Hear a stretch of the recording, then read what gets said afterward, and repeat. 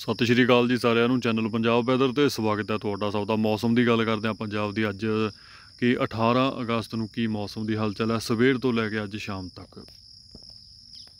ਸੋ ਜਿਵੇਂ ਕਿ ਤਾਜ਼ਾ ਸੈਟੇਲਾਈਟ ਤਸਵੀਰ ਦੇਖ ਰਹੇ ਹਾਂ, ਸਵੇਰ ਦੇ 7 ਵਜੇ ਮੌਸਮ ਲਗਭਗ ਬਦਲਵਾਈ ਰਹਿਤ ਹੈ। ਜ਼ਿਆਦਾਤਰ ਹਿੱਸਿਆਂ ਦੇ ਵਿੱਚ ਕੁਝ ਥੋੜਾ ਬਹੁਤ ਪੂਰਬੀ ਹਿੱਸਿਆਂ ਦੇ ਵਿੱਚ ਹਲਕੀ ਫੁਲਕੀ ਬਦਲਵਾਈ ਬਣੀ ਹੋਈ ਹੈ। ਪਰ ਕੋਈ ਜ਼ਿਆਦਾ ਮੌਸਮ ਦੀ ਹਲਚਲ ਹੋਣ ਦੇ ਅਸਾਰ ਨਹੀਂ ਆ, ਮੌਸਮ 'ਚ ਬਦਲਾਅ ਆਉਣ ਦੇ ਅਸਾਰ ਘੱਟ ਹੀ ਨੇ। ਮੌਸਮ ਪੰਜਾਬ ਦਾ ਅੱਜ ਦਿਨ ਦੇ ਸਮੇਂ ਲਗਭਗ 90% ਦੇ ਆਸ-ਪਾਸ ਸਾਫ਼ ਹੀ ਦੇਖਣ ਨੂੰ ਮਿਲੂਗਾ। 10% ਜੋ ਬਚਿਆ ਉਹਦੇ ਵਿੱਚ ਇਹ ਅਸਰ ਹੋਣਗੇ ਕਿ ਛੋਟੇ-ਮੋਟੇ ਪੈਚੀ ਰੂਪ ਵਿੱਚ ਹਲਕੇ ਫੁਲਕੇ ਮੀਂਹ ਦੇ ਛਰਾਟੇ ਦੇਖਣ ਨੂੰ ਮਿਲ ਸਕਦੇ ਨੇ।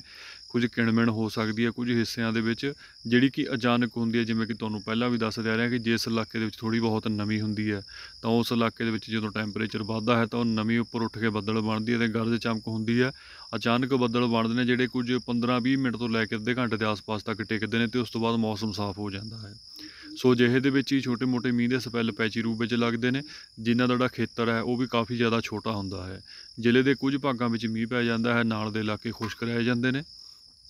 ਸੋ ਜਿਹੀ ਹਲਚਲ ਆਪਾਂ ਨੂੰ ਦੁਪਹਿਰ ਦੇ ਆਸ-ਪਾਸ ਤੋਂ ਲੈ ਕੇ ਸ਼ਾਮ ਤੱਕ ਦੇਖਣ ਨੂੰ ਮਿਲ ਸਕਦੀ ਹੈ, ਜਿਹੜੀ ਕਿ ਪੰਜਾਬ ਦੇ ਕੁਝ 2-4 ਜ਼ਿਲ੍ਹਿਆਂ ਦੇ ਵਿੱਚ ਪੈਚੀ ਰੂਪ ਵਿੱਚ ਦੇਖਣ ਨੂੰ ਮਿਲਣਗੀਆਂ। ਬਾਕੀ ਇਲਾਕਿਆਂ ਦਾ ਮੌਸਮ ਜ਼ਿਆਦਾਤਰ ਸਾਫ਼ ਅਤੇ ਖੁਸ਼ਕ ਹੀ ਰਹੂਗਾ।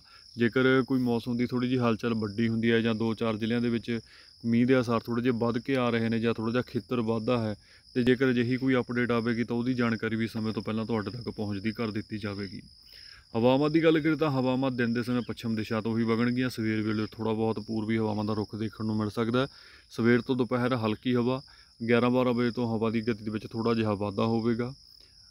ਗਰਮੀ ਅਤੇ ਹੁਮਸ ਦੀ ਗੱਲ ਕਰੀਏ ਤਾਂ ਫਿਲਹਾਲ ਹਲੇ ਨਵੀਂ ਬਣੀ ਰਹੇਗੀ, ਜਿਹਦੇ ਕਰਕੇ ਥੋੜਾ ਜਿਹਾ ਗਰਮੀ ਅਤੇ ਹੁਮਸ ਆ, ਉਹ ਪਰੇਸ਼ਾਨ ਕਰੇਗੀ ਦਿਨ ਦੇ ਵੇਲੇ। ਟੈਂਪਰੇਚਰ ਦਿਨ ਦਾ 34-35 ਡਿਗਰੀ ਦੇ ਆਸ-ਪਾਸ ਵੱਧ ਤੋਂ ਵੱਧ ਕੁਝ ਹਿੱਸਿਆਂ ਦੇ ਵਿੱਚ 36 ਡਿਗਰੀ ਤੱਕ ਜਾ ਸਕਦਾ ਹੈ।